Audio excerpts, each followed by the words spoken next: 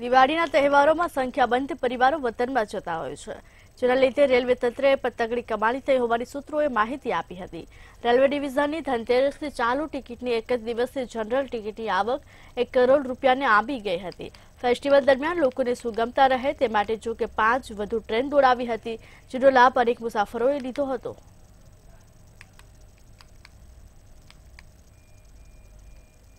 और रेल प्रशासन दिवाली दशहरा